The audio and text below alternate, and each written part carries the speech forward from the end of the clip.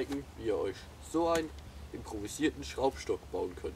Bleibt dran! Zum Bau von eurem Schraubstock braucht ihr einen Holzstamm. Der hier ist aus Haselnuss. Und der sollte schon, ja, ich weiß nicht genau wie hoch der ist, aber er sollte schon eine gewisse Höhe haben. Der ist jetzt schon ziemlich lang. Aber den kann ich ja noch absägen, falls er zu lang ist. Ich will den Stamm nämlich ziemlich tief, dann später in die Erde rammen, damit es auch möglichst stabil ist.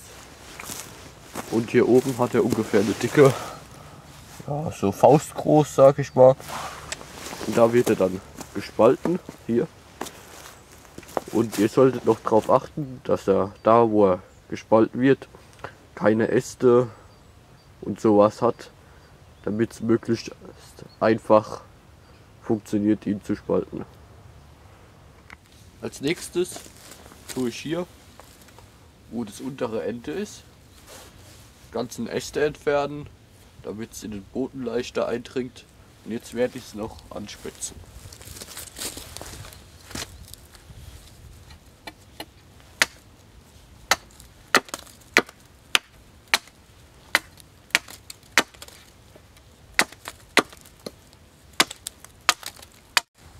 Nachdem wir jetzt hier unseren Stock angespitzt haben,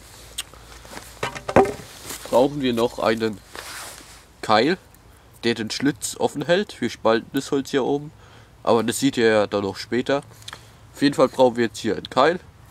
Jetzt habe ich hier so ein Holz genommen, das ist zwei Finger breit ungefähr und aus dem schnitze ich mir jetzt einen schönen Keil.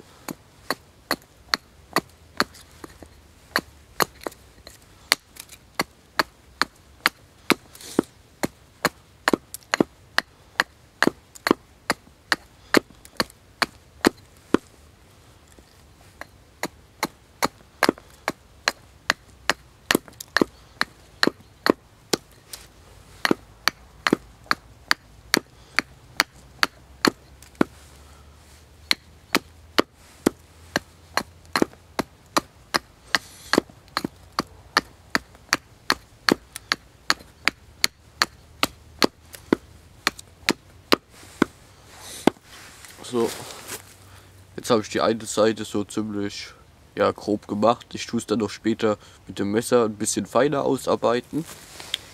Und der Keil, der sollte, ja, der sollte ziemlich flachen Winkel haben.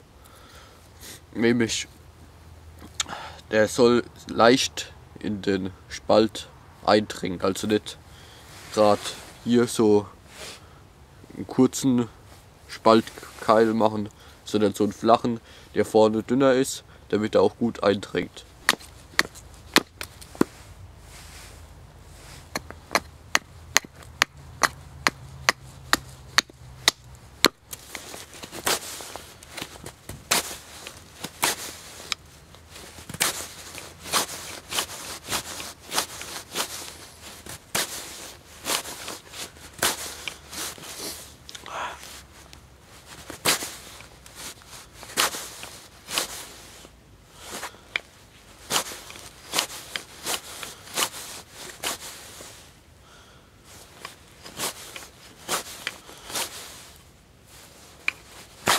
So, der Keil ist fertig.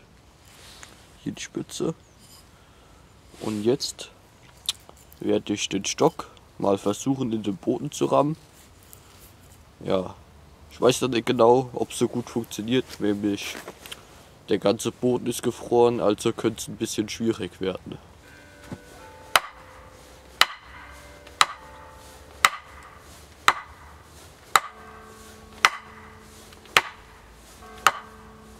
Der Stamm ist jetzt in den Boden gerammt. Auch ziemlich stabil. Und jetzt müssen wir am Ende ähm, so weit wie der Riss maximal kommen darf, muss man abbinden mit Schnur, damit er sich nicht weiter ausbreitet. Also da wo es jetzt bei mir gespalten wird, soll es maximal bis hierhin gehen. Also tue ich hier die Schnur drum wickeln.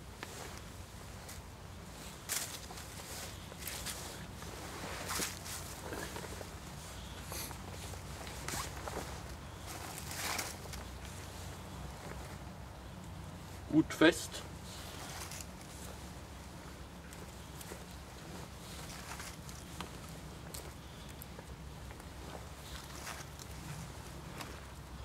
So ist es jetzt festgebunden. Man muss es schon sehr fest machen und auch gut zuknoten. Und jetzt könnt ihr es oben spalten. Spalten tue ich wieder alles mit meinem Beil und diesem Holzprügel. Das Beil setze ich hier oben an und schlage da mit dem Holzprügel oben drauf.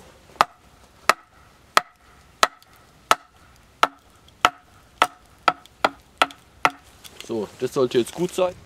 So sieht es jetzt gespalten aus. Bis hier unten ging es gar nicht. Und jetzt brauchen wir unseren ähm, Keil, den wir vorhin geschnitzt haben. Der wird jetzt hier unten eingesetzt, um den Riss offen zu halten.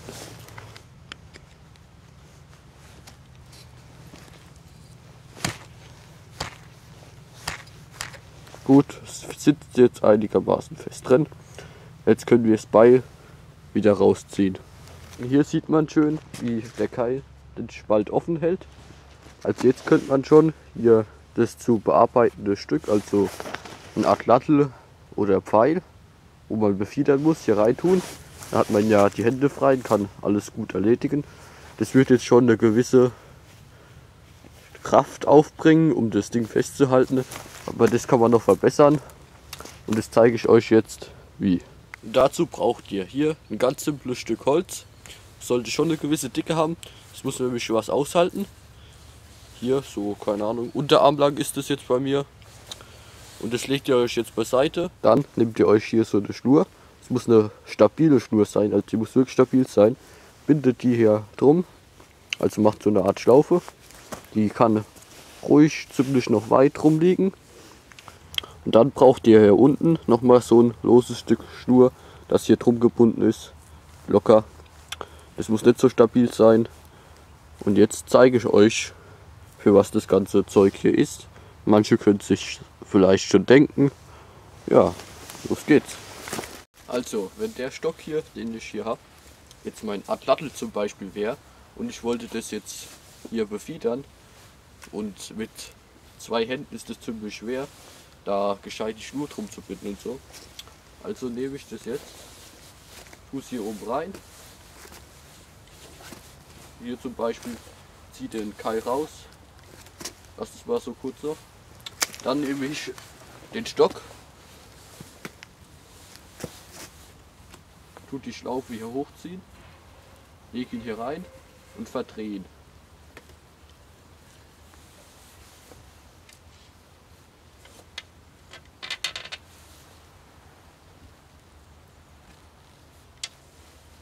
So, das reicht schon. Dann nehme ich die Schlaufe hier und ziehe die so drüber, dass der Stock in Position bleibt. So sieht es jetzt noch nah aus. Also der Stock hält so, hält er schon ziemlich stabil drin. So ein Rund, hoch und runter tut er ein bisschen wackeln. Man könnte jetzt noch hier drin ähm, das flach machen alles, damit die Auflagefläche höher ist, dann hält stabiler. Oder zum Beispiel noch so Lederstücke reintun, da wird das zu bearbeitende Stück auch jetzt so zerquetscht. Und hier der Knebel, Schlaufe hält es hier in Position. Wenn man jetzt hier noch zum Beispiel eine dickere Schnur nehmen würde, könnte man das auch noch viel fester spannen. Und das war's schon. Es hat überhaupt nicht lange gedauert.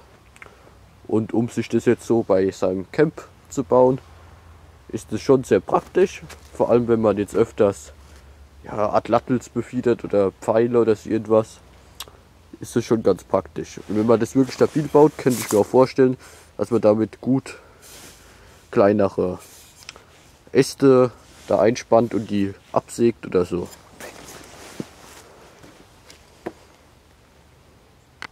Also dann, ich hoffe euch hat das Video gefallen und über Kommentare, Daumen hoch oder neue Abonnenten freue ich mich natürlich immer.